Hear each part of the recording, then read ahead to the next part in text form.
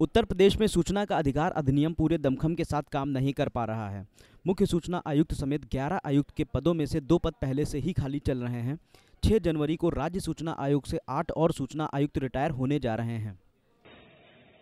उत्तर प्रदेश राज्य सूचना आयोग पूरी शिद्दत से काम नहीं कर पा रहा है। दरअसल 2014 में दो सूचना आयुक्त के पद खाली हो गए थे, तब से खाली चल रहा था और अभी तक उन्हें भरा नहीं जा सका है। अब आगामी 6 जनवरी को एक बार फिर आठ सूचना आयुक्त एक साथ रिटायर हो रहे हैं, अब देखना होगा सरकार इसे भरने में कितना जल्दबाजी कर पाती है।